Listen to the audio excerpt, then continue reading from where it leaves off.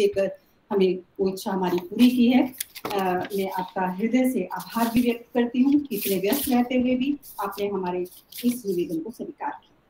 हम बात कर रहे हैं हिंदी विचारोत्सव की लेकिन हिंदी विचारोत्सव पर जाने से पहले इस विषय पर जाने से पहले मैं भारतीय परंपरा के अनुसार ज्ञान के अधिष्ठात्री देवी माँ सरस्वती की आराधना के लिए उनके श्रद्धा जो हम अपनी श्रद्धा जो है उनके प्रति व्यक्त करते हैं और इस पूरे सेमिनार के सफलता के लिए, उनकी आराधना के लिए मैं आमंत्रित कर रही हूँ।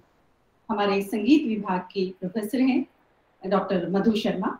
मधु शर्मा से मेरा निवेदन, सरस्वती धन्यवाद मैम या कुन्देन्दुतुषारहार धवला या शुभ्रवस्त्रावृता या वीणावरदण्डमण्डितकरा या श्वेतपद्मासना या ब्रह्माच्युतशङ्करा प्रभितवे देवै सदा वन्दिता सा माँ पातु सरस्वती भगवती। निःशेषजाड्यापहा शुक्लां ब्रह्मविचारसारपरमाम् आद्यां जगत्यापिनीं वीणापुस्तकधारिणीम् अभयदाम् जाड्यान्धकारापहा हस्ते स्फाटिकमालिकां विदधतीं पद्मासने संस्थितां वंदे तां परमेश्वरी भगवती। बुद्धिप्रदां शारदाम्।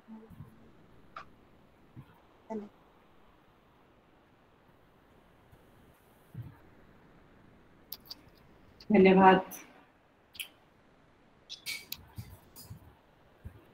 मधु जी और अब सरस्वती माँ का आशीर्वाद लेने के बाद हम इस यज्ञ को आरंभ करते हैं, जो वास्तव में सात दिवसीय है।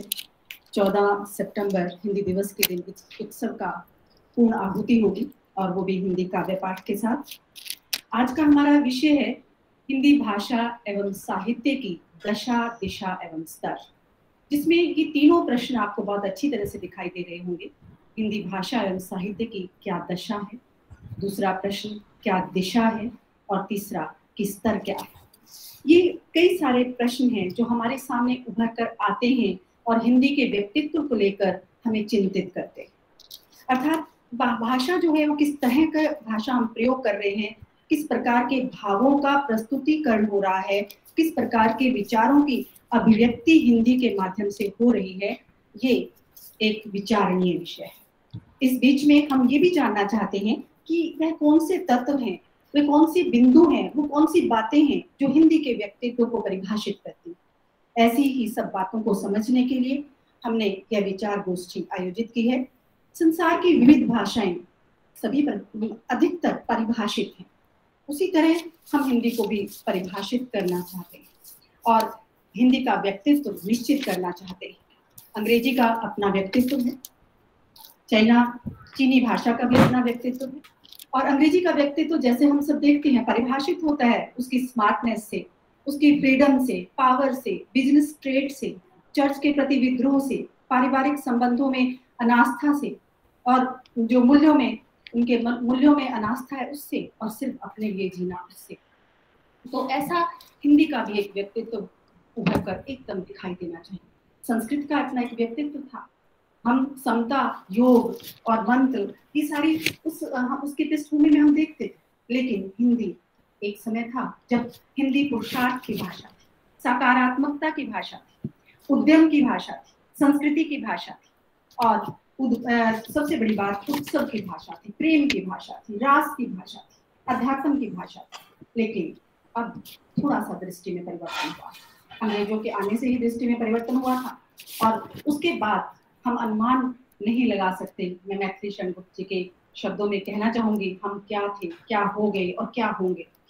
इस बात पर हम बहुत गहराई से विचार नहीं कर रहे हैं, लेकिन बहुत अंतर आया है और इस अंतर को समझना, उसको पकड़ना और फिर इसको जो है हम जाना कहाँ चाहते हैं, उस दिशा को निर्धारित करना। हम सब, हिंदी या शिक्षक वर्ग या मैं कहूँ पूरे समाज के लिए आवश्यक है। तो इसी चिंता के साथ, इन्हीं विचारों के साथ और इसी उत्सव के साथ सिर्फ़ चिंता नहीं इसमें, उत्सव भी है। लेकिन विचार होते रहने चाहिए। विचारों से हमारे जो प्रश्न होते हैं, उनमें उलझन जो है, समाप्त होती है। हमारी जो बातें हैं, उनमें स्पष्टता आती है। हमें स्पष्ट मार्ग दिखाई देता है। तो वो मार्ग जो है, वो एक अच्छा दिशा निर्देशक ही दिशा, दिखा सकता है। तो आज ऐसे दिशा निर्देशक हमारे सामने हैं। हम उनका आभार व्यक्त करते हैं। उनके व्यक्तित्व से आप सभी परिचित हैं। लेकिन मैं अपना ये उत्तरदायित्व तो समझती हूँ, थोड़ा परिचय मैं आपको उनका दूँ। प्रोफेसर डॉक्टर गिरीश्वर मिश्र, बहुत व्याख्यान आपने उनके सुने होंगे। उन निरंतर वो पत्र पत्रिकाओं में लेखन करते हैं और मनोविज्ञान के शीर्षस्थ विद्वान हैं, हिंदी साहित्य के सशक्त हस्ताक्षर हैं। समाज, शिक्षा, संस्कृति, भाषा, साहित्य एवं भारतीय दर्शन से जुड़े प्रश्नों पर आप नियमित रूप से सांसारिक विषयों पर अपने उत्तेजक विचार प्रस्तुत करते रहते हैं। अपने पाँच दशकों के शैक्षिक और एकादमिक जीवन में गोरखपुर, इलाहाबाद, भोपाल और दिल्ली विश्वविद्यालय में प्राध्यापन के बाद आप महात्मा गांधी अंतरराष्ट्रीय हिंदी विश्वविद्यालय, वर्धा, महाराष्ट्र में 2014 से 2019 तक कुलपति पद पर रहे हैं और अपने मौलिक लेखन के साथ साथ अनुवाद और संपादन के कार्य से भी जुड़े रहे आपने अनेक पुस्तकें लिखी, संपादित की और अपने शैक्षिक, अकादमिक एवं सांस्कृतिक यात्रा क्रम में आप अमेरिका, रूस, चीन, जर्मनी, इंग्लैंड समेत अनेक अन्य देशों के लिए आपने यात्राएँ की हैं। अनेक विश्वविद्यालयों और संस्थाओं में फैलो रहे हैं। अनेक संस्थाओं और देश विदेश से आपको सम्मान और विभूषणों से विभूषणों से अलंकृत किया गया है। तो ऐसे विद्वान वक्ता, ऐसे शिक्षाविद और अनुभवी विद्वान हमारे साथ हैं। में, हमें बहुत हर्ष का अनुभव हो रहा है। स्नातन धर्म कॉलेज मदन मोहन मालवीय जी द्वारा स्थापित मूल्यों पर और खासकर हिंदी की सेवा के लिए और अपनी भारतीय संस्कृति की सेवा के लिए इन्हीं मूल्यों के साथ स्थापित किया गया था। आज हम उन्हें भी इस कार्यक्रम के माध्यम से उनके मूल्यों को याद करते हुए इस कार्यक्रम का आरंभ कर रहे हैं। उनके आशीर्वाद से ये संस्था जो है पूरे हरियाणा की श्रेष्ठ संस्थाओं में गिनी जाती है। या मैं ये कहूँ, उत्तर भारत की श्रेष्ठ संस्थाओं में आती है। तो इस प्रकार, इस संस्था में हिंदी एम ए में जब पंजाब विश्वविद्यालय में भी एम हिंदी नहीं थी, तब से हिंदी विभाग यहाँ पर स्थापित है और बहुत ही मूर्धन्य साहित्यकारों और शिक्षकों ने इस विभाग की सेवा की है। उन सबके आशीर्वाद से आज हम ये व्याख्यान माला शुरू कर रहे हैं और मैं आज के वक्ता हमारे प्रोफेसर गिरीश्वर मिश्र जी, जो सच में बहुत ही सहज, सरल और अनुभवी व्यक्ति होते हुए भी उनकी जो विनम्रता है, वो बहुत ही दिल को छूने वाली है। और आशुतोष जी कहा करते हैं कि व्यक्ति विद्वान जितना हो, ज्ञानी जितना हो, लेकिन अगर वह विनम्र नहीं है, सरल नहीं है तो उसकी विद्वत्ता काम नहीं आती। तो उनकी इस बात को याद करते हुए ऐसे सरल, महान और विनम्र जगह प्रणाम करती हूँ। मंच पर आज के विषय के लिए आमंत्रित करती हूँ। धन्यवाद सर। मंच पर अपने वक्तव्य के लिए आमंत्रित हैं। ॐ सहनावतु सहनौ भुनक्तु सह वीर्यं करवावहै।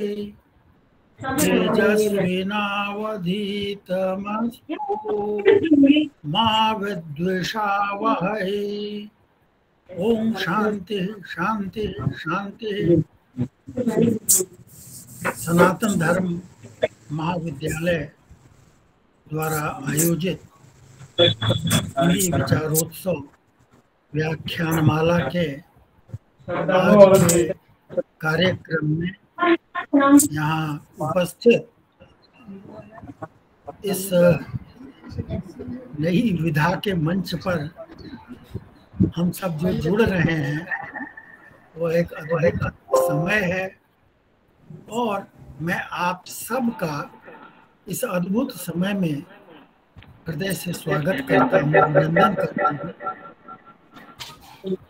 हमारे परम सुहृद आशुतोष जी जिस लगन के साथ अकादमिक कर्म में संलग्न हैं और एक प्रकार की बौद्धिक चेतना को विकसित करने के लिए और वह भी भारत केंद्रित जो ज्ञान की परंपरा है, उसका संवाद आज के समय से स्थापित करने के लिए जो कार्य कर रहे हैं, मैं उनको साधुवाद देता हूँ और मंगल कामना करता हूँ कि इस यज्ञ का सुफल मिले और लोगों की दृष्टि परिवर्धित हो, परिष्कृत हो। आज के इस आयोजन के सूत्रधार के रूप में कई मित्र हमारे यहाँ उपस्थित हैं। और मैं आदरणीय डॉक्टर विजय शर्मा को साधुवाद देता हूँ कि उन्होंने इस आयोजन का भार उठाया है। आज की चर्चा का विषय रखा गया है हिंदी भाषा एवं साहित्य की दशा, दिशा एवं स्तर। मित्रों, मैं आरंभ में ही यह बता देना चाहता हूँ कि मैं हिंदी का पाठक हूँ, विद्यार्थी हूँ। विशेषज्ञ नहीं हूँ, न भाषा वैज्ञानिक हूँ। और यह सही है कि हिंदी के अभ्यास से, उसके साहित्य के निकट रहने से और हिंदी की गतिविधि से जुड़े रहने से थोड़ा बहुत परिचय है, ज्ञान है और उसके आधार पर मैं कुछ बातें आपके सम्मुख रखना चाहूँगा। हिंदी भाषा के रूप में हमारे बीच लगभग हज़ार बारह सौ वर्षों से विद्यमान है। मुझे याद आता है बारहवीं, तेरहवीं शताब्दी में अमीर खुसरो का नाम, जो भारत के नहीं थे, बाहर से भारत में आए थे और उन्होंने एक हिंदी की शुरुआत की और हिंदी का जो प्रयोग हो रहा था, उसका बड़ा सुंदर परिचय भी उन्होंने दिया। फारसी में उनका एक बड़ा महत्वपूर्ण काव्यात्मक विचार है, जिसको प्रस्तुत करके मैं अपनी बात शुरू करूँगा। वो फारसी में कुछ यूँ कहते हैं, चुमन तूती ए हिंदम, अर रास्त पुरसी। जेमन हिंदवी की पुरुष तो नग्ज गोयम। तो इसका अर्थ कुछ इस प्रकार है। मैं हिंदुस्तान की तूती हूँ। अगर तुम कुछ पूछना चाहते तो हिंदी में पूछो। मैं तुम्हें अनुपम बातें बता सकूँगा। मित्रों, ये बात अमीर खुसरो ने कही थी, और उनकी बहुत सारी कविताएँ हम सब लोग पढ़ते रहते हैं। अब उनकी कविता अगर आप देखिए तो आपको आज की हिंदी का भी स्पंदन उसमें दिखता है। वह हिंदी प्रयोग की भाषा थी।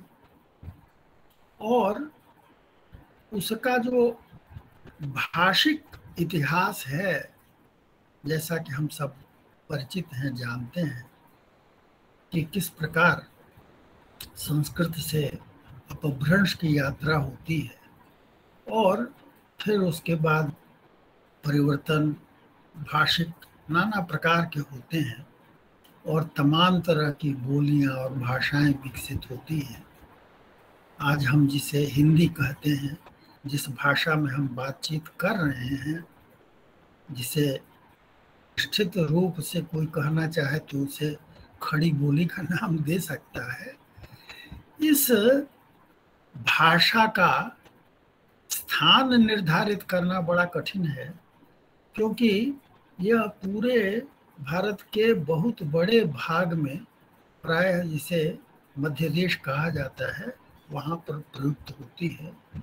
और आज हम देखते हैं कि बहुत सारे प्रदेश हैं। हिमाचल है, हरियाणा है, उत्तर प्रदेश है, बिहार है। आदि आदि में हिंदी का प्रयोग प्रचुर मात्रा में होता है। लोग उनकी मातृभाषा हिंदी है। इसके अलावा बहुत सारे क्षेत्र हैं जहाँ पर आपका विद्यालय है, वह भी और इसके अलावे और भी बहुत सारे क्षेत्र हैं जहाँ पर हिंदी का प्रयोग धड़ल्ले से होता है, विधिवत होता है। हम सब जानते हैं कि बीजापुर, गोलकुंडा में दक्षिणी के रूप में भी हिंदी वहाँ पर प्रस्तुत थी और उसकी उपलब्धि हमारे पास है। और यह हिंदी एक बड़े विशाल भू क्षेत्र में व्याप्त है। और भारत वर्ष के अगर पूरी जनसंख्या का हिसाब लगाएँ तो आधी से अधिक जनसंख्या इसमें बोलती है, पढ़ती है, समझती है। और यदि थोड़ा और विस्तार में जाए तो पाएँगे कि इसको समझने वालों की संख्या और भी अधिक है। भारत के अनेक क्षेत्रों में आज संचार माध्यमों के द्वारा हिंदी पहुँची हुई है, फ़िल्मों के द्वारा पहुँची हुई है। हिंदी की गजलों को सुन करके भी बहुत सारे लोग आकर्षित होते हैं। तो जो मीडिया कहलाता है, उसके माध्यम से हिंदी का प्रचार प्रसार बहुत है। मैं यह भी ध्यान दिलाना चाहूँगा कि हिंदी भारत के बाहर भी गई, जो गिरमिटिया कहलाते हैं, वो कभी आज से डेढ़ सौ वर्ष पहले भारत से शर्तबंदी प्रथा के अंतर्गत मजदूर के रूप में मॉरिशस में, गोयाना में, ट्रिनिडाड में, फिजी में, तमाम सारे देशों में, दक्षिण अफ्रीका तक भी हिंदी जो है पहुँची उन लोगों के द्वारा। और अभी भी भिन्न भिन्न रूपों में और भिन्न भिन्न प्रकार की हिंदी वहाँ पर विकसित होती रही है। उसकी अपनी अपनी कठिनाइयाँ भी हैं और हिंदी का साहित्य भी वहाँ पर है। अभिमन्यु अनंत, जिनका नाम और लाल पसीना, जिनका उपन्यास मॉरिशस के लेखक हैं, बड़ा प्रसिद्ध हुआ है। बहुत सारे लोग हैं, उनका पूरा विवरण देना यहाँ पर पर्याप्त समय के अभाव में संभव नहीं है। लेकिन प्रवासी जो भारत के लोग बाहर चले गए और वहाँ उन्होंने हिंदी की ज्योति जलाए रखी और उनके साथ रामचरितमानस भी गया। हिंदी की तमाम सारी पोथियाँ भी गई और उनके जीवन में जो सांस्कृतिक तत्व था, वह हिंदी के माध्यम से गया। यहाँ पर यह ध्यान दिलाना आवश्यक है कि हिंदी मेरी दृष्टि में एक परिवार का नाम है। मुझे लगता है कि यह बात हमारे मन में स्पष्ट होनी चाहिए। अगर हिंदी में से आप तुलसीदास को निकाल दें, सूरदास को निकाल दें, मीराबाई को निकाल दें, रहीम को निकाल दें रसखान को निकाल दें तो क्या रस बचेगा? इतनी बड़ी संपदा हमारे पास है और इन सबको आप देखिए तो इनका रस ग्रहण करके चाहे आप उसे ब्रज कहिए, भोजपुरी कहिए, मैथिली कहिए, विद्वान जो भाषाविद हैं, आशुतोष जी जैसे लोग, वो खोज कर बताएँगे कि लगभग 40-50 तरह की हिंदी है। कहीं पर राजस्थान में, पहाड़ के क्षेत्र में, मालवा में, आप उसकी निमाड़ के क्षेत्र में, हरियाणा में नाना प्रकार की हिंदी प्रवाहित हो रही है। मैं इसका उल्लेख इसलिए कर रहा हूँ कि एक बड़ी भारी दृष्टि जो राजनैतिक सुख प्राप्त करने के लिए विकसित हुई है वह इन सारी भाषाओं को तहस नहस करके और हिंदी की इन बोलियों को, उपभाषाओं को लोक भाषाओं को और हिंदी को आपस में लड़ने के लिए भी एक उपाय बना रही है और एक विचित्र सी स्थिति है जहाँ पर हमारे संविधान में एक आठवीं अनुसूची यह नाम दे दिया गया है और उसकी लड़ाई होती कि हमारी भाषा को आठवीं अनुसूची में स्थान दे दीजिए। और उसकी लड़ाई चलती रहती कौन भाषा उसमें आ जाए, बहुत सारी भाषाएँ आ रही हैं, नहीं आ रही हैं। राजनीति से परे हिंदी का जो स्थान है और हिंदी का जो हृदय है, उसमें मैं नहीं समझता कि कभी तुलसीदास, सूरदास, मीराबाई इनका स्थान कोई और ले सकेगा। यह बड़ी महत्वपूर्ण बात है जो हमें ध्यान में रखनी होगी। कौन कबीर दास को भुला सकता है? जो बड़े स्पष्ट रूप में हमारे सामने संवाद करते हैं समाज के साथ, ईश्वर के साथ, जीवन के मूल्यों को खटखटाते हैं। टकराते हैं अपने समय की जो तमाम सारी विसंगतियाँ हैं और उनमें मार्ग ढूँढने की कोशिश करते हैं। हिंदी की यह बड़ी अपार संपदा है, जिसका रसपान कोई कितना भी करे, वह रस समाप्त होने वाला नहीं है। तो हिंदी एक बड़ी विस्तृत परंपरा का संवहन करते हुए आगे बढ़ती है। एक बात यह ध्यान में रखनी आवश्यक है। यह भी महत्वपूर्ण है कि यह हिंदी आज जिस स्वतंत्र भारत का हम गुणगान करते हैं और पचहत्तरवा स्वतंत्रता दिवस का ध्यान रख करके हम स्वतंत्रता का एक विशेष प्रकार का उत्सव मना रहे हैं, उस स्वतंत्रता के लिए जो संग्राम हुआ था, जो आंदोलन हुआ था, उसमें हिंदी की बड़ी महत्वपूर्ण भूमिका रही है। और यह बहुत उल्लेखनीय है कि हिंदी के बाहर के लोगों ने, हिंदीतर क्षेत्र के लोगों ने हिंदी में बड़ी रुचि ली। बंगाल के बहुत सारे नाम आते हैं, आप सब परिचित होंगे। राजा राम मोहन राय है, शारदा चरण मित्र हैं। तमाम लोगों ने हिंदी को आगे बढ़ाने में बल पूर्वक सबके सामने यह रखा और हिंदी के बहुत सारे आरंभ के जो अखबार छपे, वो कलकत्ता में ही छपे।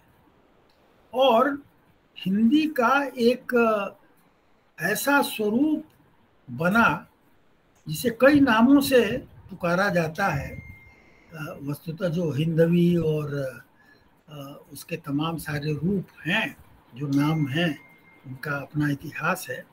लेकिन एक और नाम जो चला हुआ था हिंदुस्तानी, जो पूरे हिंदुस्तान को, पूरे भारत देश को व्याप्त करके ऐसी भाषा, जो नाना प्रकार की भाषाओं के शब्दों से बनती है। जहाँ उर्दू के भी शब्द हैं, अरबी के भी शब्द हैं, फारसी के भी शब्द हैं संस्कृत के भी शब्द हैं तो हिंदी की यह एक बड़ी लचीली वृत्ति है कि वह भिन्न भिन्न भाषाओं के शब्दों को ग्रहण करती है। और हिंदी देश या हिंदी प्रदेश जिनको आप कहें जो आ, उसके परिधि कह लें या उसकी जो आ, सीमा है उसके आसपास आपका उड़ीसा का भी क्षेत्र आता है आंध्र का भी क्षेत्र आता है तो कई भाग बंगला का क्षेत्र आता है तो इन सबका प्रभाव भी इसके ऊपर पड़ा है। और मुक्त भाव से इनका ग्रहण करने के लिए हिंदी तत्पर रही है। मैं कह रहा था कि स्वतंत्रता संग्राम में हिंदी की बड़ी भूमिका थी, चाहे वह आज़ाद हिंद फौज की बात हो, हमारे नेताजी सुभाष चंद्र बोस का संबोधन, उनकी बातचीत, समाज से उनका संबंध, आप सभी नेताओं को पाएँगे कि वह हिंदी का उपयोग कर रहे हैं। बापू ने लिखा है कि भारत के तमाम क्षेत्रों में वह गए और तमाम भाषाओं को न जानते हुए भी हिंदी जानने से उनका काम चल गया संपर्क करने का। और बड़े स्पष्ट शब्दों में बापू ने बार बार यह इंगित किया है कि स्वभाषा के बिना स्वराज जो है, वह विचार अपने आप में अधूरा है। और इस बात पर वह निरंतर बल देते रहे कि अपनी भाषा का उपयोग होना चाहिए। आत्मकथा में वह उल्लेख करते हैं कि किस प्रकार बहुत सारा समय नष्ट हो जाता है, एक विदेशी भाषा के माध्यम से अध्ययन को करने में। और इस बात को उन्होंने, काशी हिंदू विश्वविद्यालय में उन्होंने अपना व्याख्यान दिया था 1916 में तो वहाँ भी यह बात व्यक्त की थी। तमाम सारे स्वतंत्रता संग्राम के नेताओं ने इस बात का बड़ा स्पष्ट संकेत दिया है कि हिंदी वह भाषा है, जो भारत की राष्ट्रभाषा का स्थान ले सकती है। और उसका आधार यह है कि बहुत बड़े भू क्षेत्र में इसका उपयोग होता है, और मज़ेदार बात यह भी है कि हिंदी का प्रयोग का विस्तार साधु संतों के द्वारा हुआ, जो कि देश के भिन्न भिन्न क्षेत्रों में जा रहे थे, आ रहे थे। बहुत सारे लोगों ने योगदान किया है। स्वामी दयानंद को आप देखिए, जिन्होंने हिंदी का तो भिन्न भिन्न क्षेत्रों में हिंदी का उपयोग होता रहा। अब जब भारत का संविधान बना तो काफ़ी चर्चा और विमर्श के बाद हिंदी को राजभाषा के रूप में स्वीकार किया गया और यह कहा गया कि भाई चूँकि अभी काम काज अंग्रेज़ी में चल रहा है तो पंद्रह साल और दे देते हैं और उस बीच में काम धाम करने का सारा शब्दावली का और पत्रादि, फ़ाइल आदि कैसे चलेगी, इन सब की व्यवस्था हो जाएगी और हिंदी पूरी तरह से राजभाषा हो जाएगी। अब इस व्यवस्था का लाभ या दोहन करते हुए धीरे धीरे यह बात बनी, भाई, जब तक सभी सहमत नहीं होते हैं, तब तक हिंदी चलती रहे। अब अंग्रेज़ी चलती रहे और अंग्रेज़ी जो है, वह वस्तुतः कामकाज की ज्ञान विज्ञान की, राजकाज की भाषा बन गई, न्याय की भाषा बन गई। हर क्षेत्र में अंग्रेज़ी जो है वह प्रचलित हुई। कहना न होगा कि अंग्रेज़ी को स्थापित करने का उपक्रम एक उपनिवेश में राज्य में वर्चस्व बनाए रखने और यहाँ के जो लोग हैं, उनको पराजित बने रहने की जो मनोवृत्ति है, जो भावना है, उस बात को निरंतर उनको बताते रहें। इसके लिए इसको स्थापित किया गया। हम सब मैकाले का नाम जानते हैं, शिक्षा के बारे में चर्चा को जानते हैं और गांधी जी का वह जो प्रसिद्ध सूत्र वाक्य है कि भैया जो भारत की शिक्षा का एक वृक्ष था, अमृतमय वृक्ष था, उसको उखाड़ दिया और दूसरा वृक्ष यहाँ पर रोप दिया गया, उसकी खेती की गई और पूरी हमारी ज्ञान परंपरा निरस्त कर दी गई और ज्ञान के जो विभिन्न क्षेत्र थे, उसमें हमारी जितनी उपलब्धियाँ थी, उन सबको एक हाशिए पर ले जा कर के रख दिया गया। अंग्रेज़ों ने रुचि ली है, बहुत सारे प्रकाशन भी उन्होंने किए। लेकिन अंततः जो मनोवृत्ति थी, जिसको कि उन्होंने भारतीयों के मन में स्थापित किया, वह यही था कि यह सारा कार्य अवैज्ञानिक है, पारलौकिक है, आधुनिक नहीं है, जीवन के लिए उपयोगी नहीं है, इसलिए इसे किनारे कर दिया जाए। अब इस मनोवृत्ति के आधार पर शिक्षा के माध्यम के रूप में भारतीय भाषा का स्थान दोयम हो गया और अंग्रेज़ी ही ज्ञान विज्ञान की भाषा बन गई, शासन की भाषा बन गई, न्याय की भाषा बन गई। हर क्षेत्र में हम अंग्रेज़ी का उपयोग करने लगे, उसका अभ्यास हो गया और वही हमारे लिए प्रामाणिक बन गई। इतनी प्रामाणिक बन गई कि आज भी मूल रूप में जो कागजात हैं, उनको हम अंग्रेज़ी में ही देखना पसंद करते यह अभ्यास का परिणाम है। कहीं मैंने पढ़ा था, वाजपेयी जी ने इसका ज़िक्र किया है कि अगर उन्नीस में यह तय हो जाता कि केंद्र की भाषा हिंदी होगी और प्रदेशों में प्रादेशिक भाषाएँ चलेंगी तो ये मसला हल हो गया होता। उनके शब्दों का अगर उधार लूँ तो अब तो यह एक चक्र व्यूह बन गया है और अभिमन्यु की तरह से मार्ग नहीं मिल पा रहा है। बड़ी कठिन परिस्थिति हो गई है। और अब भिन्न भिन्न भाषाओं के बीच में आपस में प्रतिद्वंदिता खड़ी हो गई है और हिंदी और अन्य भाषाओं के बीच में भी एक प्रकार का द्वंद्व है। बहुत सारे ऐसे भी लोग हैं जो हिंदी को उपयुक्त नहीं मानते, उनका, उसका विरोध करते हैं। प्रश्न संभवतः बड़ा है और वह प्रश्न है कि एक राष्ट्र के लिए क्या कोई एक भाषा अपेक्षित है या नहीं? मैं यहाँ पर 1936 में मुंशी प्रेमचंद के द्वारा दक्षिण भारत की जो हिंदी प्रचार सभा है उसके दीक्षांत महोत्सव में उन्होंने एक भाषण दिया था। उसके दो तीन वाक्य पढ़ करके सुनाना चाहूँगा। वह कहते हैं, हमारी पराधीनता का सबसे अपमानजनक, सबसे व्यापक, सबसे कठोर अंग अंग्रेज़ी भाषा का प्रभुत्व है। कहीं भी वह इतने नंगे रूप में नज़र नहीं आती। सभ्य जीवन के हर एक विभाग में अंग्रेज़ी भाषा ही, मानो हमारी छाती पर मूंग दल रही है।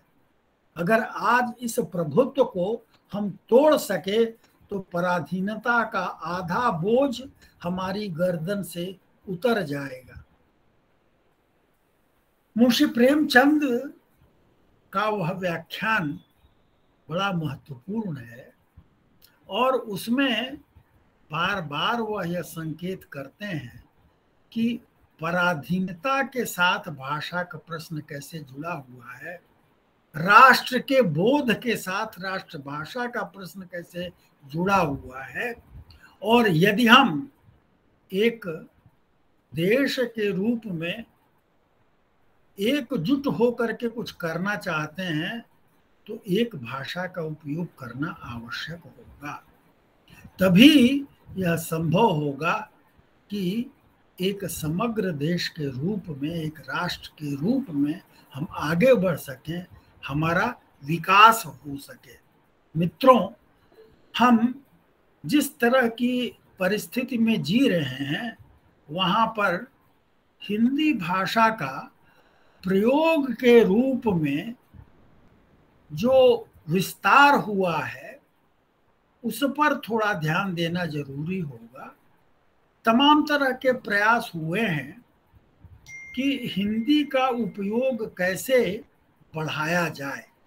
हिंदी का उपयोग बढ़ाने का अर्थ यह हुआ कि शिक्षा के क्षेत्र में, राजकाज के क्षेत्र में सर्वत्र इसका उपयोग कैसे हो।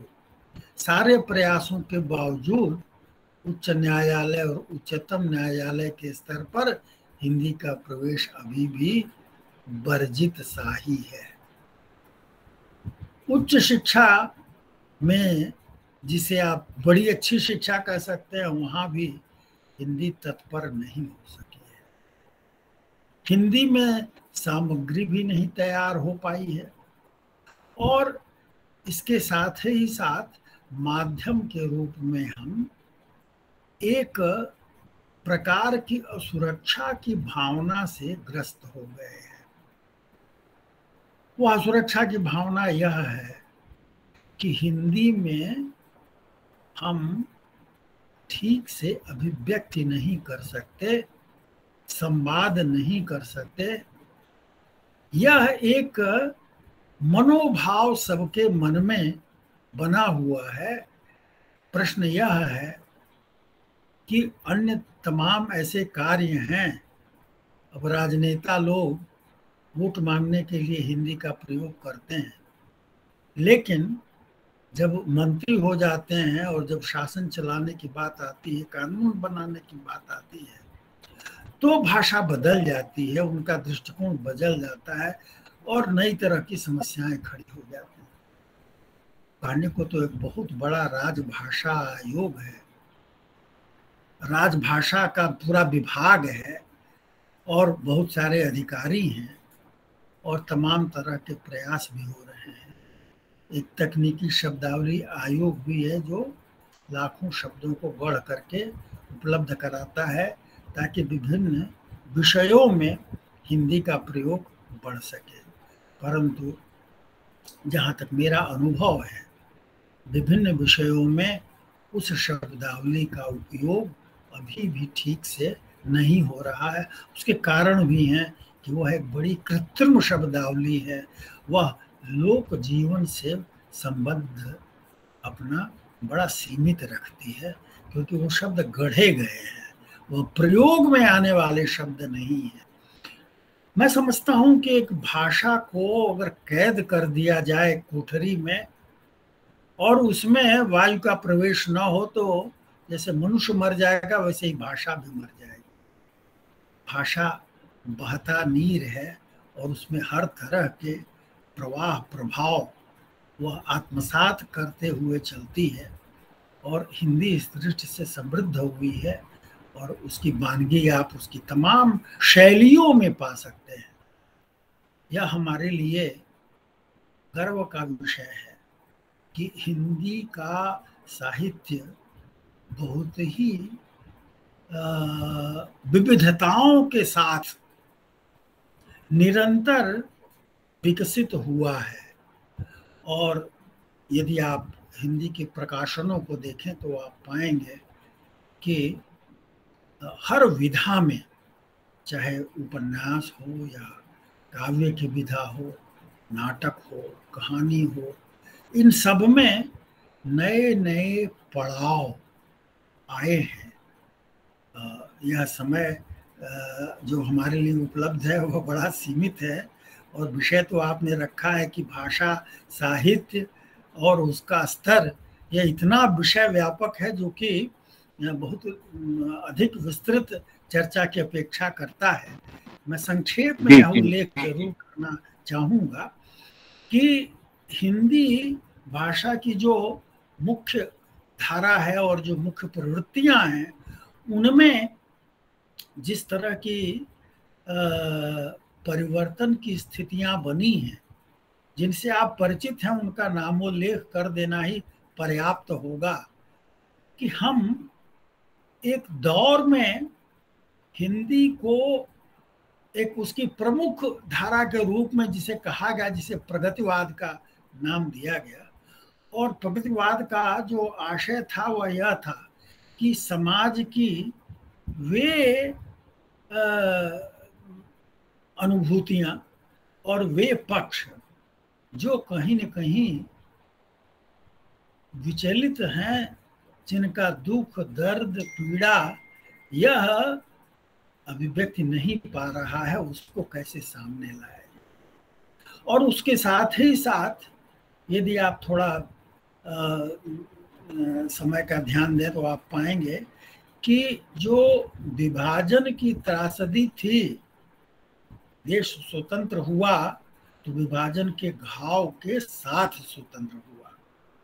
यह ऐसी स्वतंत्रता थी जो इस पीड़ा के साथ हमको मिली और आप तो सीमा के पास हैं। कितने परिवार जो है वो शरणार्थी बन गए, सीमा रेखा के दोनों ओर। और उनकी पीड़ाएँ किस प्रकार की हैं उनके तमाम रूप हैं कश्मीर में भी है, और चारों ओर इस तरह की पीड़ाएँ हमको दिखाई दे रही हैं।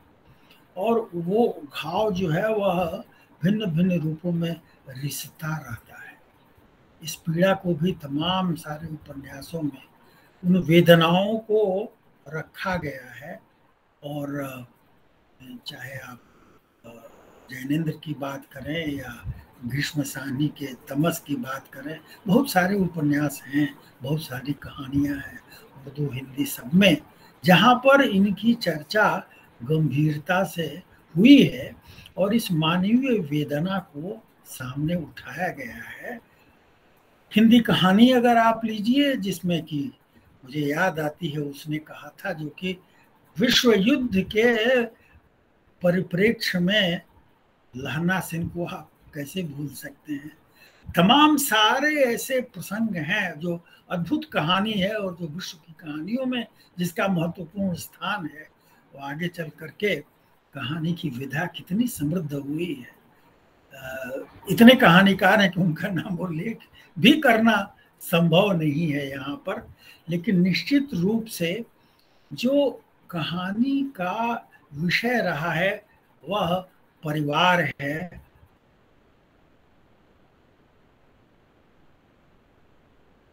प्रेम संबंध है और धीरे धीरे जो पारिवारिक जीवन की संगतियाँ हैं एकल परिवार बन रहे हैं और अब तो एकल माताएँ बन रही हैं कार्य की परिस्थितियाँ बदल रही हैं, गाँव छोड़ करके लोग शहर आ रहे हैं, जो विस्थापन हो रहा है और इसके साथ ही साथ जो मानवीय मूल्यों को लेकर के एक प्रकार की कश्मकश हमारे सामने खड़ी हुई है। और हमारे ऊपर जिस तरह से वैश्वीकरण या भूमंडलीकरण का प्रभाव, एक आर्थिक मनुष्य का जो जन्म हो रहा है, जो बाज़ार को ही अंतिम सत्य मानता है और रिश्तों, नातों और हर प्रक्रिया को उसी रूप में देखता है, यह एक बड़ी भारी चुनौती आई है जिसने हमको और यह साहित्य में उपलब्ध हो रहा है। सेक्स और उसके से, उससे जुड़े हुए तमाम सारे प्रश्न खड़े हुए हैं। थर्ड जेंडर जिसे कहा जाता है, वह भी प्रश्न हमारे सामने खड़ा हुआ है और न्यायिक रूप से उनको सबलता मिली है, जो किन्नर वर्ग है, वह भी साहित्य में जो है सामने आया है, उस पर भी विचार किया जा रहा है। स्त्री को केवल भोग्या स्त्री को केवल श्रद्धास्पद मान करके उसको पूजा की वस्तु एक और आप कहते हैं, लेकिन दूसरी ओर उसका शोषण भी होता है। यह प्रश्न भी बड़ी गंभीरता से उठाया गया है। पूरा स्त्रीवादी चिंतन आरंभ हुआ है, जो कि इस प्रश्न को सामने रखता है कि स्त्री सत्ता का क्या अर्थ है। पितृसत्तात्मक समाज में स्त्री की क्या स्थिति है और उसकी क्या चुनौतियाँ हैं, इसको लेकर के कविता में भी, उपन्यास में भी, कहानी में भी प्रश्न खड़े किए गए हैं। इसके साथ ही एक महत्वपूर्ण जो चिंताधारा विमर्श की हिंदी में उपस्थित हुई है, वह दलित विमर्श के नाम से खड़ी हुई है, जो यह प्रश्न उठाते हैं कि जो समाज का हेय वर्ग कहलाता है, जो अस्पृश्य कहलाता है, जिसको वे सारे अवसर, वे सारे अधिकार नहीं प्राप्त होते हैं जो मनुष्य के रूप में प्राप्त होना चाहिए। बहुत सारी आत्मकथाएँ लिखी गई हैं। बहुत सारे उपन्यास और इसके साथ ही साथ हिंदी की आलोचना को भी एक नई धार दी गई है। और नई दृष्टि से उसको देखने का प्रयास किया जा रहा है।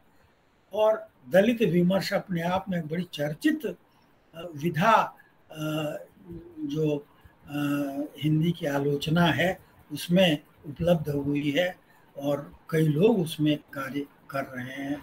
इसी प्रकार जो गिरिजन हैं, जो लोग दूर दराज के क्षेत्रों में रह रहे हैं जो जनजातियाँ हैं, उनका जो चिंतन है, उनकी जो दृष्टि है, उनकी जो विश्व दृष्टि है, उसको सामने कैसे ले आया जाए, इसके ऊपर भी हमारा ध्यान आकृष्ट किया जा रहा है।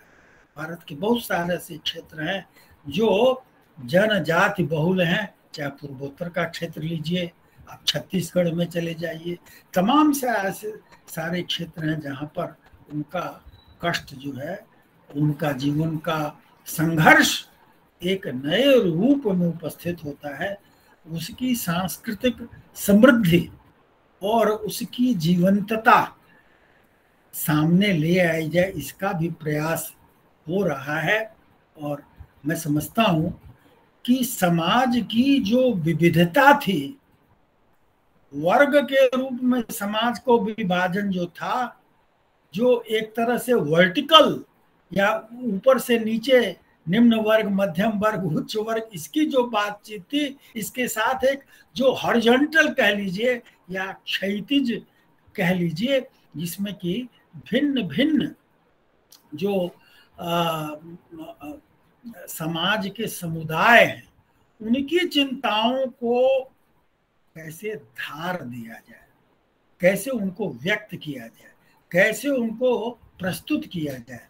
तो हमारी जो सामाजिक विविधता है, चाहे वह राजस्थान के आने वाले लेखक हों, आप उनकी हिंदी की कथाओं को आप लीजिए, उनके जीवन को आप लीजिए, या फिर दक्षिण भारत में भी हिंदी का लेखन हो रहा है, और वहाँ का जो लेखन है, उसको भी आप देखिए, और इसी प्रकार भिन्न भिन्न क्षेत्रों में जो हिंदी का लेखन हो रहा है, उसका जो स्वरूप है, वह स्थानीयता को, वहाँ की जो एक प्रकार की आप एक शब्द चला था, आंचलिक, और जब आंचलिक की बात करते हैं तो कई प्रकार के उपन्यासों का नाम हमारे जेहन में आता है, जो कि उस क्षेत्र विशेष की प्रकृति को, उसकी महक को हमारे सामने ले आता है। और मुझे याद आता है परती परिकथा। मुझे याद आता है पूरा जो रेणु आप साहित्य आप ले लीजिए, नागार्जुन का साहित्य आप ले लीजिए, कई ऐसे लेखक महान हुए हैं और हैं जिनका लेखन चल रहा है, जो हमारा ध्यान इन दृष्टियों से आकृष्ट कर रहे हैं। मैं यहाँ पर यह भी उल्लेख करना चाहूँगा कि कई ऐसे हिंदी के लेखक हैं जिन्होंने अन्य भाषाओं के साहित्य से अपना सार ग्रहण किया है और विष्णु प्रभाकर का आवारा मसीहा अगर आप देखिए, जो शरद चंद्र को लेकर के अद्भुत जीवनी है, जिसका कोई आप तुलना नहीं कर सकते। अद्भुत है। इसी प्रकार आप देखिए कि बहुत सारे नाटक हैं आप गिरीश कर्नाड का नाम जानते हैं, विजय तेंदुलकर को जानते हैं, मराठी का बहुत सारा महत्वपूर्ण नाटक साहित्य है जो हिंदी में आया है। घासीराम कोतवाल को आप देखिए। तो मैं ये कहना चाहता हूँ कि हिंदी के जीवन में अन्य भाषाओं का भी योगदान है। साहित्यिक स्तर पर यह आदान प्रदान भी हुआ है। और मैं समझता हूँ कि यह एक शुभ लक्षण है, यह अधिक से अधिक होना चाहिए। यह भी एक बड़ा महत्वपूर्ण प्रश्न है कि हिंदी इन भिन्न भिन्न भाषाओं के संपर्क में आ करके उनके साहित्य के साथ संपर्क में आ करके किस तरह नया स्वरूप ग्रहण कर रही है, नए शब्दों का उपयोग हो रहा है, नई प्रवृत्ति जो है वह दिखाई पड़ रही है, और ऐसे प्रयोग करने वाले तमाम सारे लोग हुए हैं आपके आसपास के एक बड़े प्रसिद्ध लेखक, कवि, उपन्यासकार, कहानीकार हुए हैं, जिनका उल्लेख मैं ज़रूर करना चाहूँगा, जो अद्भुत व्यक्तित्व के धनी थे। सच्चिदानंद, हीरानंद वात्स्यायन अवगेय कवि, कर्म, उपन्यासकार, सैनिक के रूप में भी उन्होंने कार्य किया था।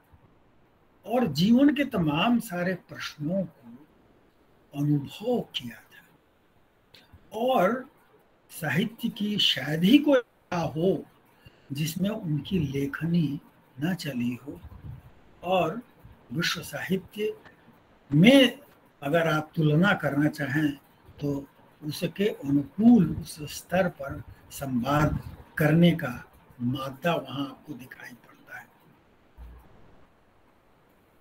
चाहे वो उनका शेखर एक जीवनी हो, चाहे आप अरियो करुणा प्रभा में उनका काव्य संग्रह हो, या फिर आँगन के द्वार द्वार उनका कविता संग्रह हो आत्मने पद उनका लेख संग्रह है, अगर आप उसको देखिए। मैं एक उदाहरण के रूप में कहना चाहता हूँ कि हिंदी भाषा और अभिव्यक्ति के रूप में अद्भुत रूप से प्रखर हुई है और उसकी क्षमता में बड़ा विस्तार हुआ कालिदास को लेकर के एक अद्भुत उपन्यास लिखा गया है। आशुतोष जी के नगर, नज़र में अगर न आया हो तो वह देखें वो, जो सुरेंद्र वर्मा का उपन्यास है, काटना शमी वृक्ष को कमल पंखुड़ी कमल पंखुड़ी की डाल से कुछ इस प्रकार का नाम है।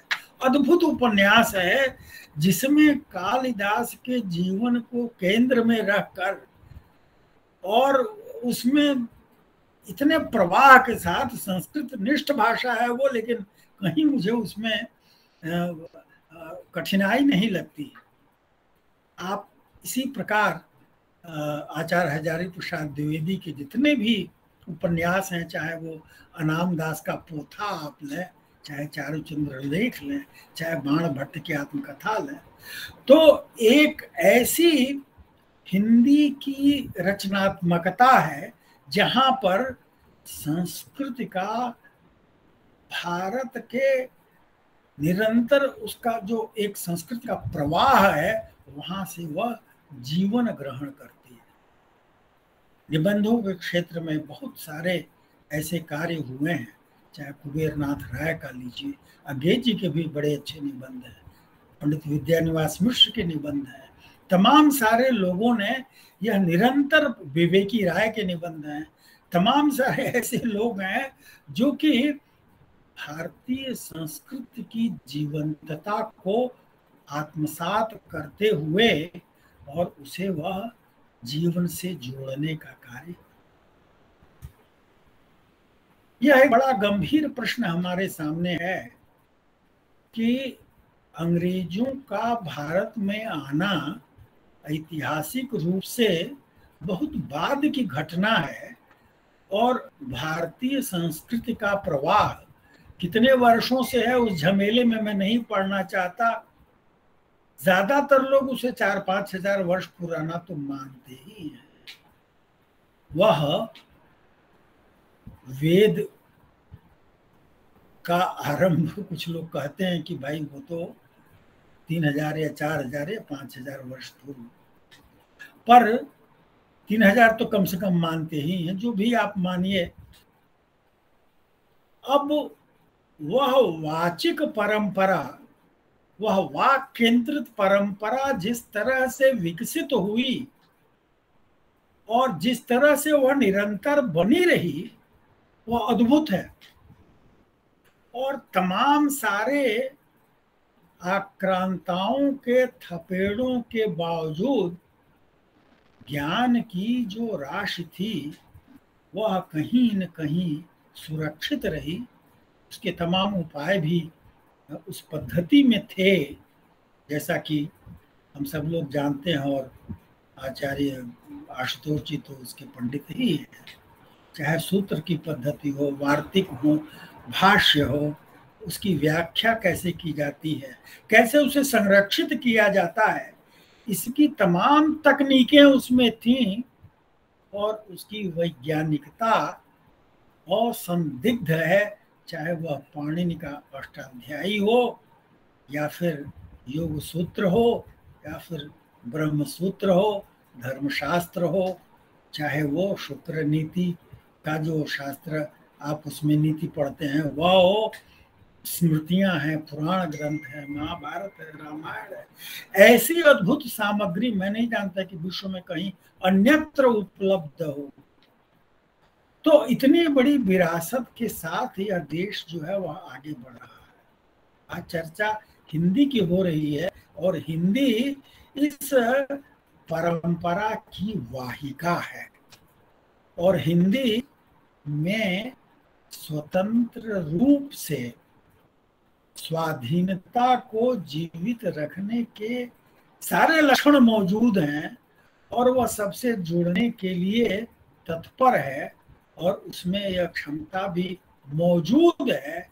प्रश्न यह है कि हम इसके लिए कितने तत्पर हैं और कहाँ तक हमको सफलता मिली है। आपने अपनी चर्चा का जो विस्तार रखा है, उसका अंतिम अंश रखा है, स्तर और उस पर बहुत संक्षेप में कुछ बात करना उचित समझता हूँ। हिंदी का विस्तार जब होता है तो वह लोक जीवन से जुड़ती है और जैसा कि मैंने कहा कि हिंदी की जो तमाम उपभाषाएँ हैं, बोलियाँ हैं, वहाँ हिंदी का प्रकाश है अब यह एक बड़ी विचित्र स्थिति हमारे सामने है, हमको इस पर विचार करना पड़ेगा। हरियाणा का आदमी जो हिंदी बोले, राजस्थान का जो हिंदी बोले वहीं क्षेत्र का रहने वाला वाला जो हिंदी बोलेगा, अब उन सबकी हिंदी भिन्न भिन्न प्रकार की होगी, बिहार वाले की हिंदी दूसरे प्रकार की होगी। आप शुद्ध हिंदी अगर खोजने चाहते हैं तो बड़ी विपत्ति आ जाएगी। अब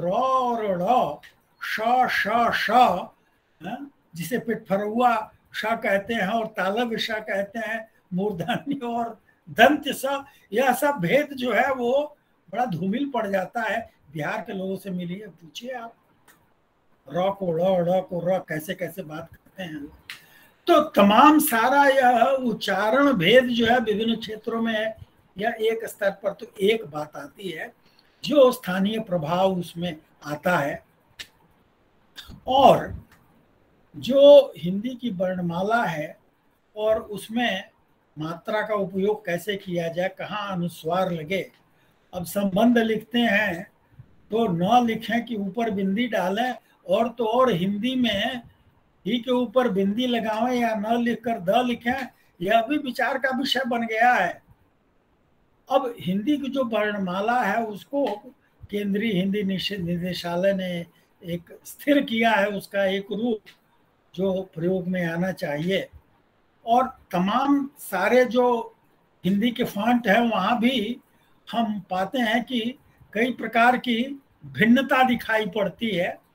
कुछ एक प्रकार का उपयोग जैसे ङ लिखना हो क ख, ग तो ङ का लेखन बड़ा कठिन है। तमाम सारी समस्याएँ हमारे सामने आती हैं। और वांग्मय लिखिए तो वहाँ खोजिए, कोई जगह मिलता ही नहीं है। कुछ फंट में है, कुछ में नहीं है। तो ये सारी कठिनाइयाँ हमारी हैं। सौभाग्य से जो डिजिटल टेक्नोलॉजी आई है और जिसका उपयोग खूब हम कर रहे हैं और उसके माध्यम से लिखना पढ़ना आसान हो गया है, संचार की प्रक्रिया सरल हो गई है, उसकी अपनी कुछ सीमाएँ भी हैं। मैं समझता हूँ कि निश्चित रूप से उनका समाधान हो जाएगा। बहुत सारे लोग हैं जो कि कार्य कर रहे हैं और बड़ी आसानी से अब इस इलेक्ट्रॉनिक माध्यम के द्वारा हम संचार कार्य कर पाते हैं, हिंदी का उपयोग कर पाते हैं। तो हिंदी इस दृष्टि से समृद्ध हुई है। आप लोग ब्लॉग लिखते हैं व्हाट्सएप पर अब कविता भी आती है, कहानी भी आती है, चर्चा भी होती है।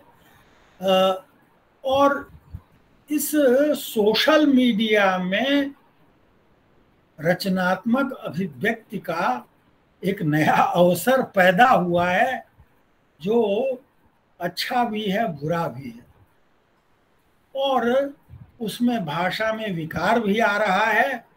भाषा प्रयोग में जो है, चुस्ती कम हो रही है और कई प्रकार की कठिनाइयाँ पैदा हो रही हैं। भाषा में एक गौरव बोध अगर हो कि हम बढ़िया हिंदी बोलें, अच्छी हिंदी बोलें और भिन्न भिन्न कार्यों में उसका प्रयोग करें तो यह संकल्प जब प्रबल होगा तो मार्ग मिलेगा। मैं समझता हूँ कि ये संचार माध्यम आए हैं, जो विस्तार हुआ है। उनका भाषा पर दोनों प्रकार का प्रभाव है। आप जो टीवी पर हिंदी का प्रयोग देखते हैं, तमाम चैनल हैं, और उन सब में हिंदी का स्तर भिन्न भिन्न प्रकार का है, और उनमें तरह तरह की छूट ले ली जाती है कि किस भाषा का प्रयोग करें। कई बार तो बड़ा कष्ट होता है जब हम बहुत अशुद्ध भाषा का प्रयोग लेखन में या बोलने में सुनते हैं और पढ़ते हैं और देखते हैं तो भाषा के प्रति एक सजगता जो होनी चाहिए, वह हमारे मन में शायद नहीं है। उसका एक कारण भी हमको लगता है कि अब सारी वस्तुएँ जो हैं, इतनी बहुतायत में धीरे धीरे उपलब्ध होती जा रही है कि भाषा का प्रयोग कैसे किया जाए और उसको सौंदर्य उसका जो भाषा का है, जिसे सुष्ठु कहते हैं, सुंदर प्रयोग जिसे कहते हैं, वह प्रयोग करना और उस प्रयोग से सुख प्राप्त करना, इसका एक अभ्यास होना चाहिए। यह अध्यापकों का दायित्व है, विद्यालय में दायित्व है कि भाषा और साहित्य में रुचि का प्रवेश हो और विद्यार्थी देखें कि किस प्रकार से अच्छी पुस्तक आ रही है बढ़िया उसमें रचना आ रही है और इस दृष्टि से यह बड़ा दुर्भाग्य कि हिंदी क्षेत्र में पढ़ने पढ़ने का रिवाज जो है कुछ कम हो रहा है। पुस्तकों को लेने का रिवाज कम हो रहा है। और जो एक स्तर है, वह कहीं न कहीं उसके साथ हम समझौता कर रहे हैं। जो स्तर होना चाहिए, उस स्तर पर हम नहीं पहुँच रहे हैं। किसी भाषा में हमको यदि लगाव है, यदि हम यह चाहते हैं, उस भाषा का स्तर बढ़े। तो यह लगाव आएगा कहाँ से? वह भाषा जब मूल्यवान होगी। और वह भाषा मूल्यवान हो, इसके लिए आवश्यक है कि उसका प्रयोग हो। केवल काम चलाने के लिए नहीं, अपनी मौलिक अभिव्यक्ति के लिए, अपनी सृजनात्मक जो क्षमता है उसको आकार देने के लिए यदि हम भाषा का प्रयोग करते हैं तो भाषा मजेगी और वो उसमें पॉलिश होगा, उसका सौंदर्य निखरेगा। ऐसा प्राय होता है। हम सब लोग जो लिखते हैं, उसमें दिखाई पड़ता है। त्रुटियाँ होती हैं, हम उसको ठीक करते हैं और अच्छी भाषा का प्रयोग करने का प्रयास करते हैं। तो भाषा के प्रति एक सजगता अपेक्षित है? यह एक दुर्भाग्य का प्रश्न है कि जो हिंदी के समाचार पत्र हैं, उनको अगर आप देखिए तो कुछ ही समाचार पत्र हैं जो भाषा के प्रति सचेत है। और बहुत सारे समाचार पत्रों में तो जो बहुत सारे लेखन की सामग्री जो उसमें प्रस्तुत होती है, जो छपी हुई दिखाई पड़ती है अब उसमें जो हेडिंग है, वह भी अंग्रेज़ी के शब्द के साथ आती है। ये बड़ी अब एक शब्द मन में आ रहा है, कोफ्त होती है उसको देख करके कि किस प्रकार आप दुरुपयोग कर रहे हैं। हिंदी का शब्द उपलब्ध है, तब भी आप उसको करेंगे। बहुत सारे उदाहरण जहन में है, मैं समय के अभाव के कारण उनका उल्लेख नहीं कर रहा हूँ। लेकिन हिंदी के तमाम समाचार पत्र हैं जो कि अनावश्यक रूप से अंग्रेज़ी को ठूसते हैं, हिंदी की जो अभिव्यक्ति की क्षमता है, उसको प्रदूषित करते एक प्रकार का भाषा का पॉल्यूशन कह लीजिए, प्रदूषण कह लीजिए, उनके द्वारा हो रहा है। और जब छपके आ जाता है, किसी ने अब तो इंग्लिश शब्द का भी उपयोग किया है कि भैया तो ये इंग्लिश है, हिंदी में अंग्रेज़ी, है? अब ऐसा बड़ी जटिल समस्याएँ हमारे सामने हैं। हिंदी का स्वरूप समर्थ हो, इसके लिए हमको सजग होना पड़ेगा अपने लेखन कर्म में, अभिव्यक्ति के कर्म में और ज्ञान विज्ञान की भाषा के रूप में वहाँ पर उसे जगह देनी पड़ेगी।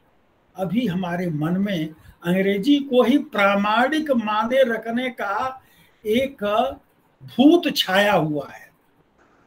संस्कृत की बात भी कहनी है तो उसको अंग्रेज़ी में कहेंगे।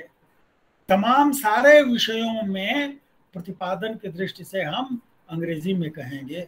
आसाम में तो हिंदी की पीएचडी भी अंग्रेज़ी में लिखने का विधान था। अब जाकर के शायद दो एक वर्षों में बदला है। वहाँ मैं गया था तो उन्होंने बताया देखिए अभी तक तो ये विपत्ति चल रही है। मित्रों हिंदी अगर हमारे राष्ट्र गौरव के साथ जुड़ी हुई है हमारे समाज और संस्कृति से जुड़ी हुई है, जीवन से जुड़ी हुई है तो हम उसके विस्तार का प्रयास करेंगे। मैं अपनी बात समाप्त करूँगा और उसको एक छोटी सी चार पंक्ति की कविता के साथ करूँगा, जो वर्धा में राष्ट्र भाषा प्रचार परिषद में एक गीत गाया जाता है। उसका एक अंश है, आप सुने और उसके साथ अनुभव करें अपने आप को कि हिंदी कहाँ होनी चाहिए और क्या उसका हमारे लिए महत्व है। भारत जननी, एक हृदय हो। भारत जननी, एक हृदय हो। एक राष्ट्र भाषा हिंदी में कोटि कोटि जनता की जय हो। भारत जननी एक हृदय। हो धन्यवाद।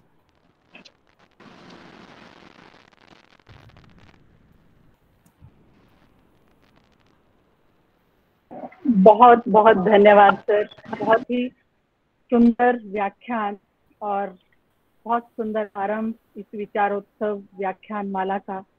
पूरा जो कुछ हम सुनना चाहते थे, वो सारा आपने इस अल्प समय में समेट कर प्रस्तुत किया। बहुत सुंदर अभिव्यक्ति और बहुत सुंदर आपका संवाद शैली भी थी। साथ में पूरी इतिहास के लेकर चले भक्ति काल से भी परिचित कराया। और उसके बाद जितना कुछ हिंदी में है, रस है, भाव है, अभिव्यक्ति है, जो वो सरोवर है, सागर है, कितना गहरा है, उसमें डुबकी लगवाई। और उसके बाद जो स्तर की बात की, सजगता की बात की, जो गौरव की बात की और जो इस प्रदूषण की बात थी, इतनी सारी बातें एक साथ, इतने कम समय में और इतनी अच्छी तरीके से और इस हिंदी के समृद्धि के लिए हम कहाँ हैं, कहाँ हमने जाना है और क्या क्या हमारे सामने समस्याएँ हैं, आपने बहुत सुंदर तरीके से इस सबको बताया। वास्तव में भाषा और साहित्य के साथ युवाओं को जोड़ना शिक्षक का परम धर्म है और भाषा प्रयोग ही भाषा को स्वस्थ बना सकता है। उसके प्रति सजगता कितनी होनी चाहिए? सजगता क्यों नहीं है? क्योंकि हम अंग्रेज़ी से इतने ज़्यादा प्रभावित है, हिंदी में जो हो रहा है, उसके प्रति बहुत हमें चिंता भी नहीं है, चिंतन भी नहीं है। तो इस व्याख्यान से हम सब बहुत लाभान्वित हुए हैं और एक सोच, एक दृष्टि आपने प्रदान की है। और शिक्षा का सबसे महत्वपूर्ण कार्य यही है कि वो दृष्टि प्रदान करे, एक विचार पैदा करे, एक दिशा को दे ताकि लोग उस पर चलकर अपने कर्तव्य का निर्वाह कर सके। तो हिंदी के लोग भी बहुत से ऐसे हैं, हम जैसे, जो अपने कर्तव्य का निर्वाह तो करना चाहते हैं, लेकिन उनको आप जैसे लोगों के विचार सुनकर थोड़ी जागृति आती है, और यही इस सारी विचारोत्सव व्याख्यान माला का उद्देश्य है। जो सच में आपके इस व्याख्यान से पूरी तरह से सफल हुआ है। आ, फिर भी मैं और लोगों से जो हमारे साथ जुड़े हुए थे निवेदन करूँगी प्रश्नों को आप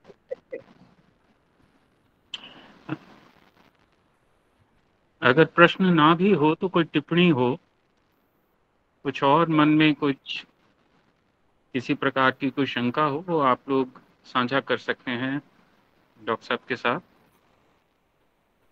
डॉक्टर साहब मैं मुझे लगता है कि जब तक कोई और विचार करे इस विषय में मैं एक दो बातें आपसे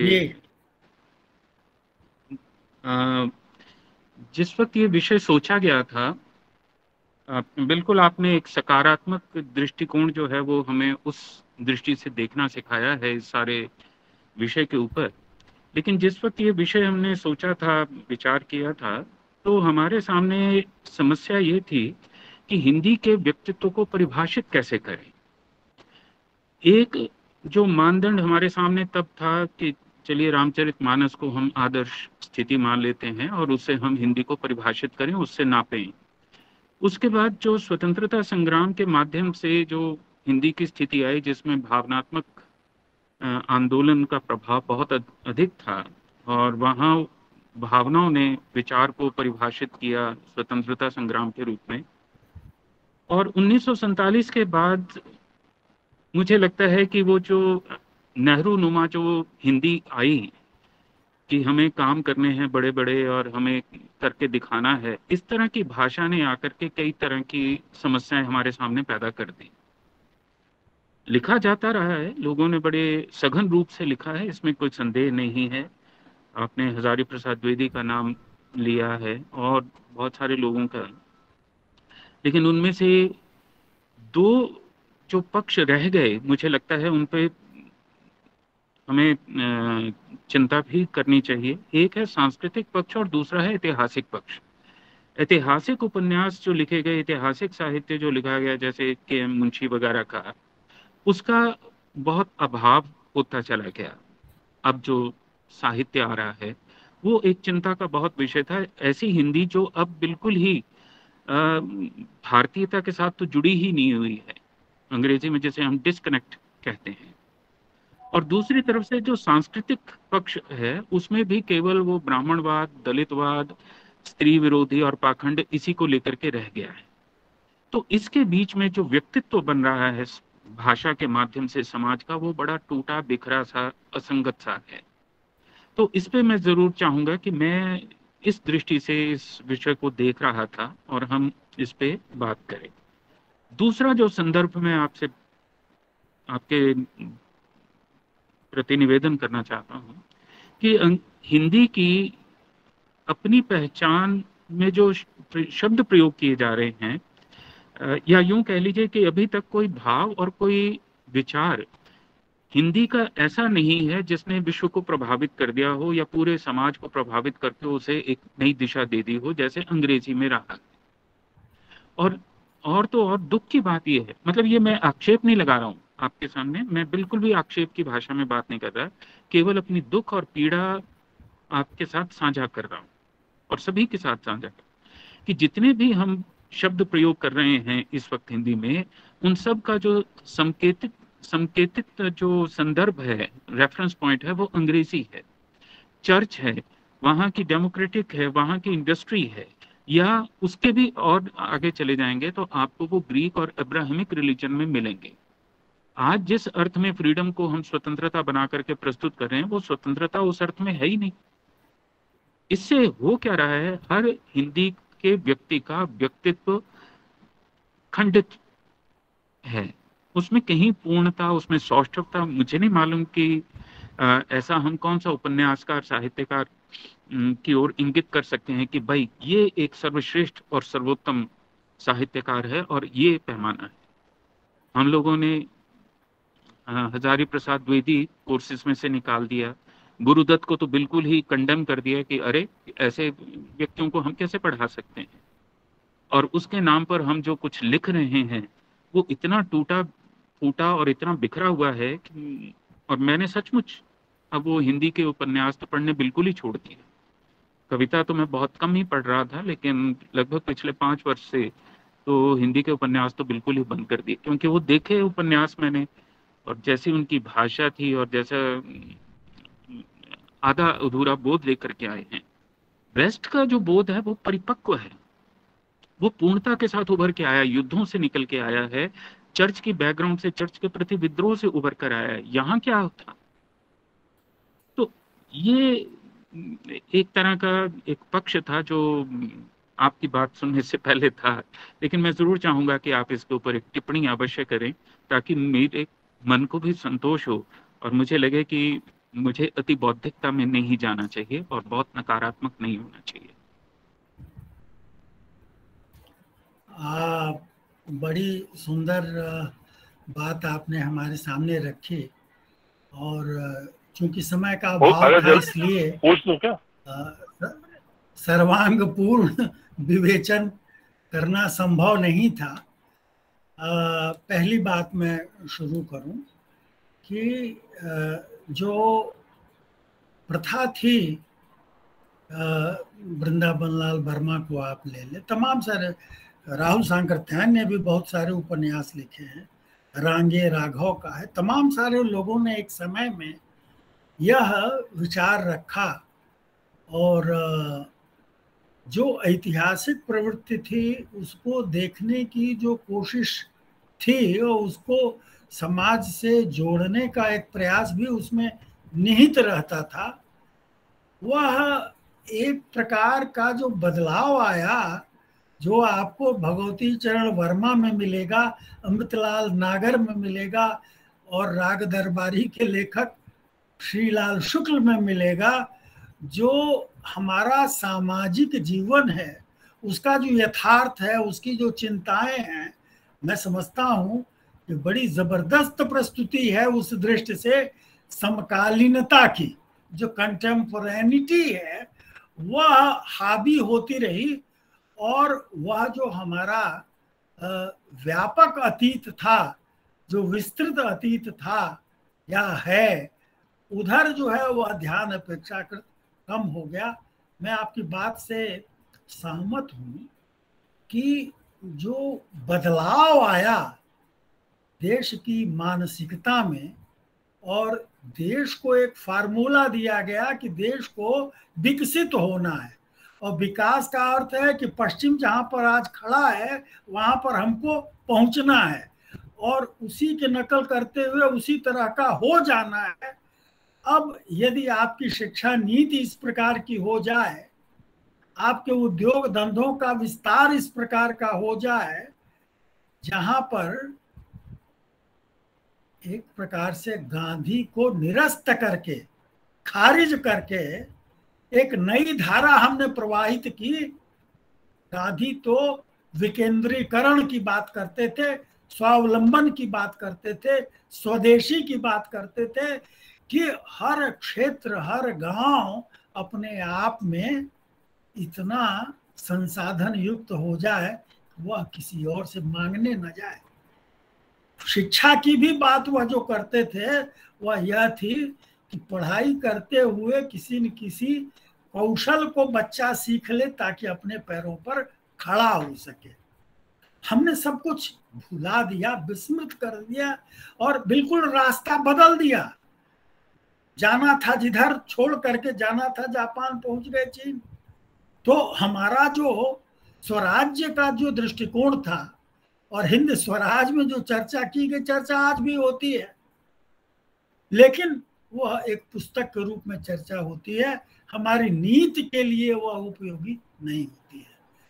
तो जो भारी उद्योग लगाए गए, जिस तरह की व्यवस्था हमने विकसित की, उसमें बहुत कुछ तो अनावश्यक व्यवस्था हमने की और जटिलता हम बढ़ाते चले गए और जीवन को गुणात्मक रूप से समृद्ध किया जाए इस प्रश्न का उत्तर हमने दूसरे ढंग से देखना शुरू कर दिया कि जब हमारी आवश्यकताएँ ज़्यादा होंगी जब खूब सारा सामान हमारे पास होगा तो हम समृद्ध होंगे।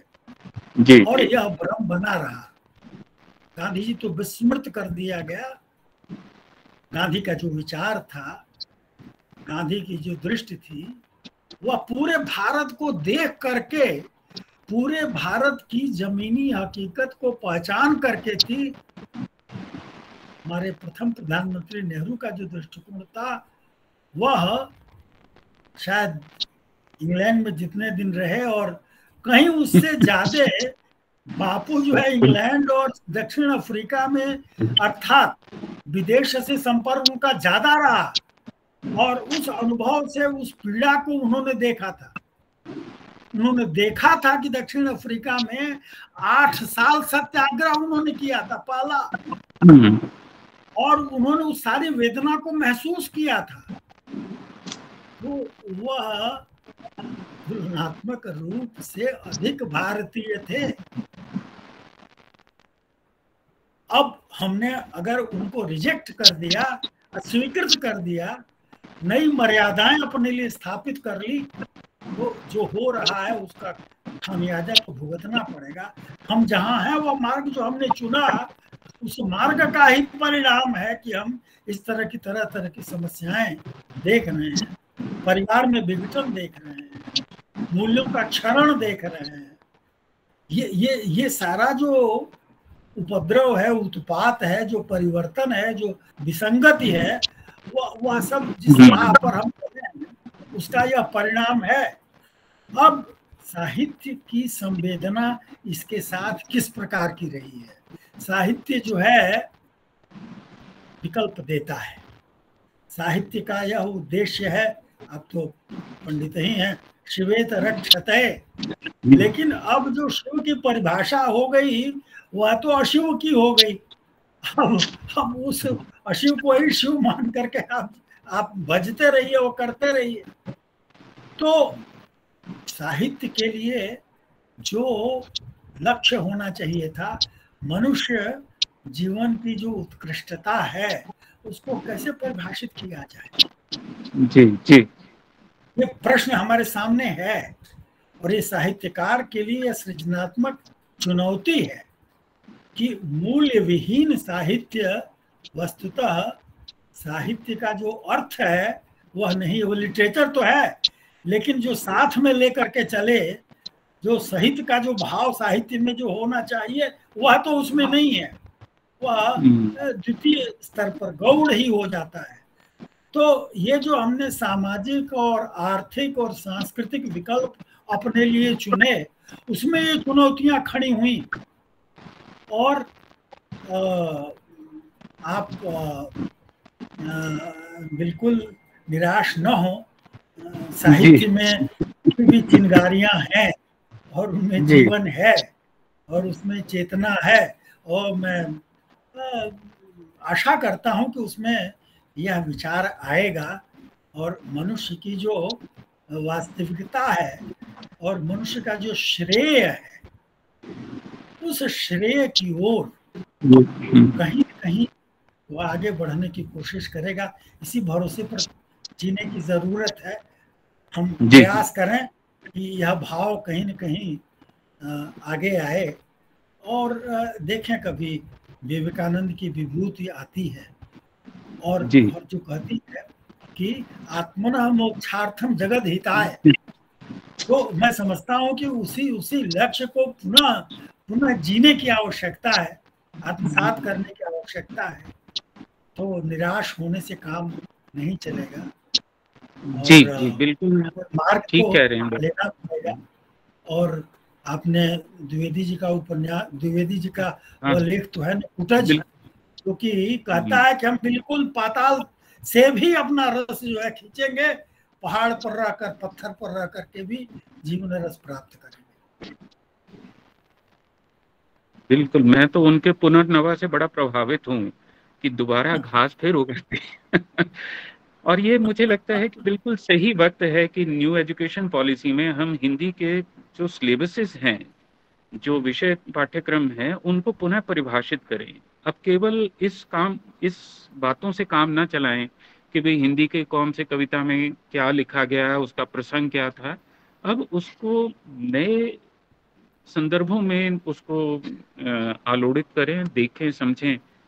ऐसी अपेक्षा है, बाकी अब तो बाकी तो हिंदी वालों के दायित्व है उसमें हम लोग तो ज़्यादा क्या कह सकते हैं। लेकिन अपेक्षा ज़रूर है कि कहीं इस न्यू एजुकेशन पॉलिसी में आशुतोष जी मुझे लगता है कि इसके लिए एक जो बेचैनी आपके मन में है मेरे मन में है तमाम सारे लोगों के मन में है एक उथल पुथल चल रही है। और नई शिक्षा नीति इस प्रकार का एक अवसर जो है वह हमारे सामने रख रही है जहाँ पर ये विकल्प पहचान करके कि क्या हम पढ़ने को दें कैसा मनुष्य हम बनाना चाहते हैं। इसका संकल्प नए ढंग से करने की आवश्यकता है। दिक्कत जो हमारे सामने आती है वो ये है कि आज का जो संचार माध्यम है इतना ज्वलंत है इतना सक्रिय है इतना तात्कालिक है कि कौन सा नया मॉडल पेरिस में आज हुआ वो आज ही हमको पता चल जाता है। जी, जी। और हमारी चिंताएँ हो जाती कि वो हम कैसे अपना लें? जी। तो ये ये भाव जो है अब सुनने में लोग कहेंगे कि क्या बकवास है लेकिन जो ब्रह्म सत्यम जगन मिथ्या तो जो मिथ्या में सत्य का जो आभास जो अध्यास है वो कुछ इस प्रकार का हमारे मन पर छा गया है हम वो भेद ही नहीं कर पाते। कि क्या श्रेय है और क्या प्रेय है क्या करना चाहिए हर चीज़ जो चमकती है ना, हाँ, वो अच्छी हो ऐसा तो नहीं हो सकता? ये ये प्रश्न बड़ा गंभीर है। जी और सर। कहीं न कहीं मन में इस संतोष के साथ कि भाई आखिर क्या था कि वेद अभी तक बचे रहे? कौन सा तत्व तो था जीवनी की शक्ति जो इन सारे झंझावातों के बीच उसको जिलाए हुए? कोई ना कोई तत्व तो होगा। अब उसको अपरुषेय न माने अब कुछ अनादि अनंत न माने लेकिन ये तो मानेंगे कि अभी तक तो वो अनंत बना हुआ है। मतलब अभी तक का अंत नहीं हुआ। हम्म। प्रयास के बावजूद बिल्कुल। तो वो वह जो जीवनी शक्ति है वह कहाँ से किन मूल्यों से आती है इसका निष्पात तो करना पड़ेगा विचार तो करना पड़ेगा। जी। निश्चित रूप से दोबारा इस पे हम चर्चा करेंगे। मैं कुछ और भी बिंदु फिर आपसे बाद में बात करेंगे लेकिन अभी क्योंकि कुछ औपचारिकताएँ शेष हैं तो मैडम विजय प्लीज़ पूछ लीजिए किसी का कोई और प्रश्न या टिप्पणी है तो।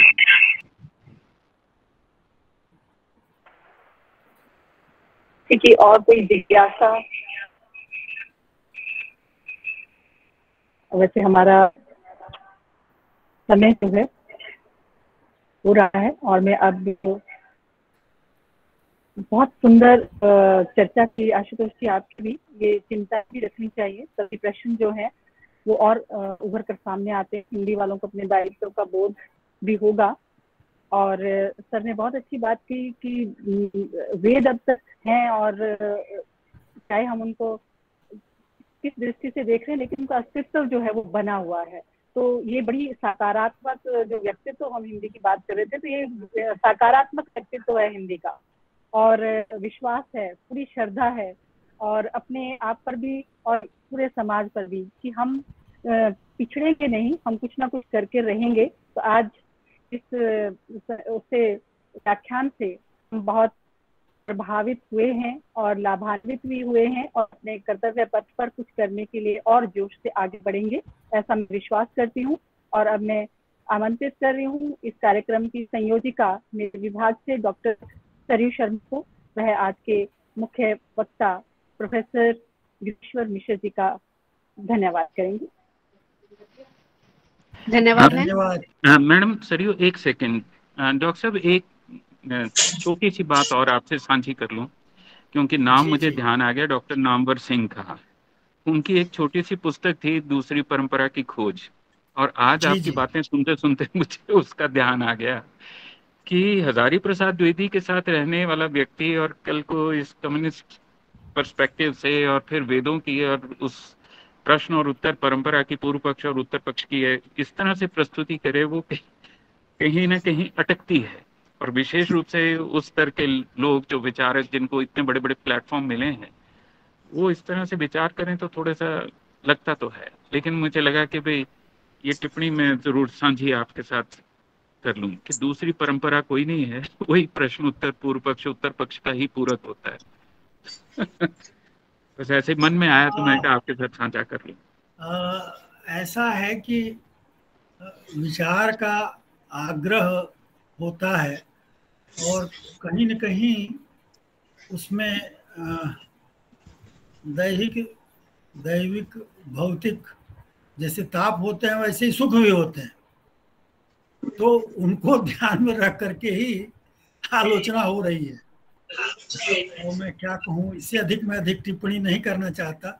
फिर आपसे चर्चा करेंगे क्योंकि वो पूरा प्रयास या खास तरह के दृष्टि को स्थापित करने के लिए और कुछ चीज़ों को विस्थापित करने के लिए आ, है। न कि वह शास्त्र चर्चा है। एक बड़ी कठिन स्थिति है और उसी को हम अब आलोचना मान ले रहे हैं। वह आलोचना तो नहीं है।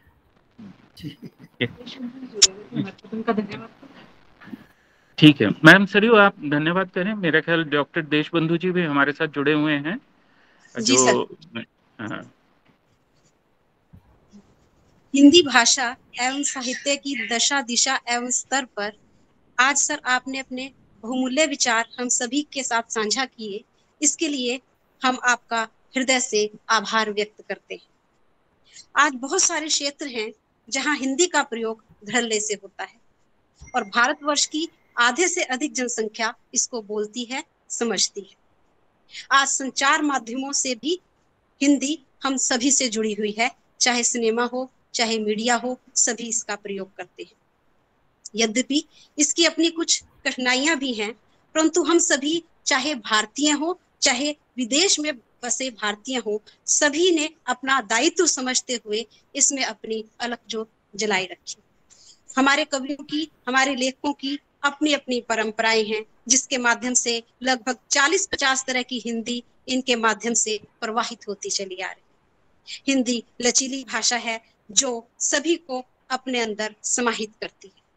कई दौर देखने के बाद भी यह नहीं बदली, उत्तरोत्तर सभी का प्रेम पाकर आगे बढ़ती चली गई। सर, आप जैसे व्यक्तित्व इस क्षेत्र में अपनी अहम भूमिका निभा रहे हैं, यह हम सभी के लिए सौभाग्य की बात है।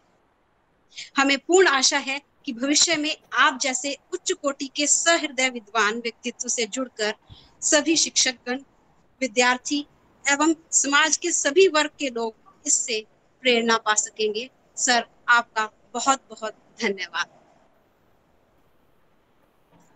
धन्यवाद। आपने यह अवसर उपलब्ध कराया कि इस विषय पर चर्चा की जाए।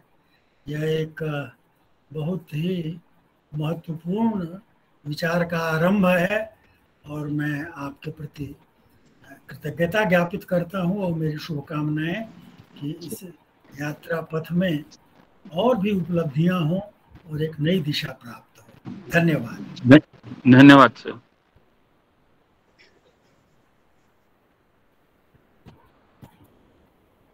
कुछ कहना है?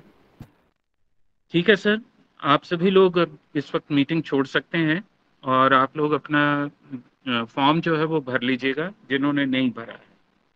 उसके बाद फिर मीटिंग क्लोज करते हैं। डॉक्टर देशबंधु जी सर नमस्कार।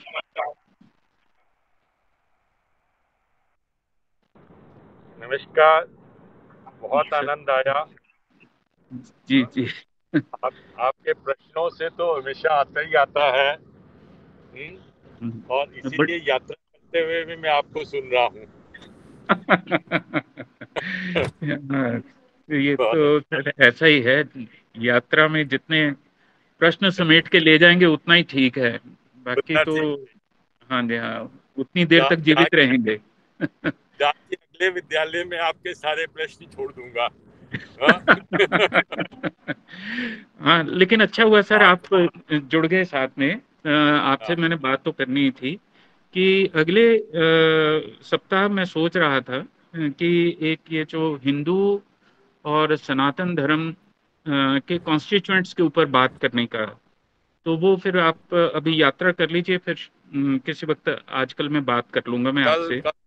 कल कॉलेज आऊँगा कल को एलुमनी एग्जीक्यूटिव की मीटिंग है तो कल आपसे मिलूँगा फिर परिचय कर लेंगे। जी जी ठीक है इसको फिर विषय को निश्चित कर लेंगे। धन्यवाद।